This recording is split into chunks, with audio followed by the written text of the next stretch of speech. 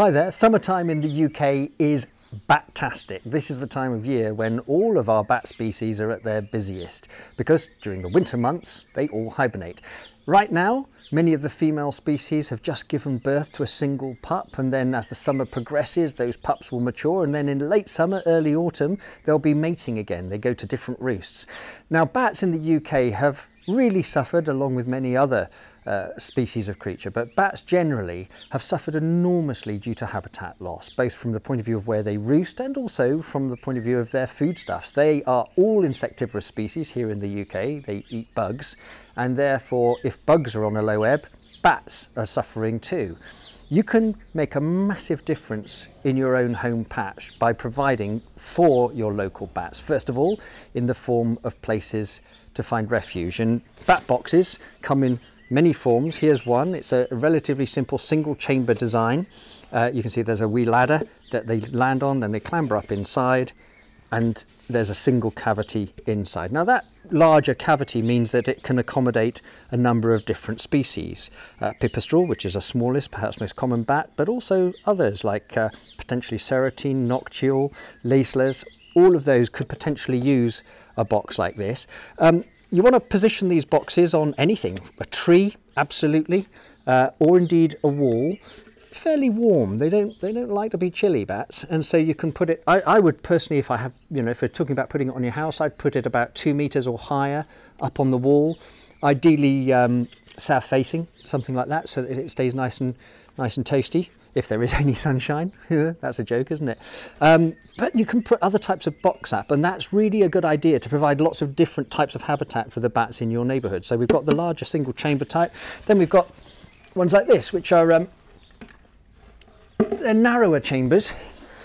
You can see that there's kind of like little slots and that's ideal for species like pipistrelle. Little pipistrelle bats squeeze up into here and you can get 15, 20 or more bats in a single slot like that. So you might have 40, 50 bats using a single box like this. Now it's worth pointing out that all bats are protected by law uh, and so you need a license to inspect or handle a nest box. But you can tell if a box is being occupied just by looking underneath and seeing if there's any little bat droppings on the floor underneath. So it's worth checking from time to time. Sometimes you even see a little bat dropping hanging on to one of the ladders like that. So you'll just go, oh, someone's in there. Or you just watch at dusk, don't you? And you just have a look and you see them coming out.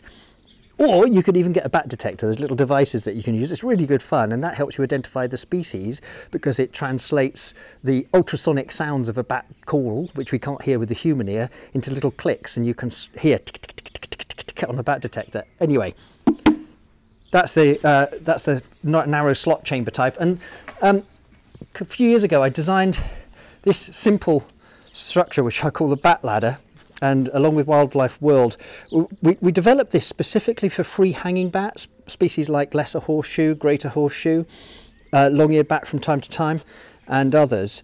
The reason being that you don't stick it on the wall like this. This is to designed very specifically to go into roof spaces between beams.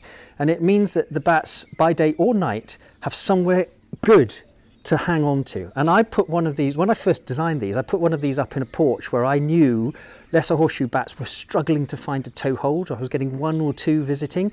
Put this up, five, six, seven, eight, nine, ten bats were using this single panel. So you can imagine if you put five or six panels up in the roof space, you really are providing for your local furry flying neighbours. Um, bats in this country, all of them, are insectivorous. They feed on bugs, flying bugs mostly, but they'll also glean long, long-eared bats hover in front of leaves and they just pick moths and bugs off the leaves sometimes. You can actually see them doing it if you've got a good moonlit night.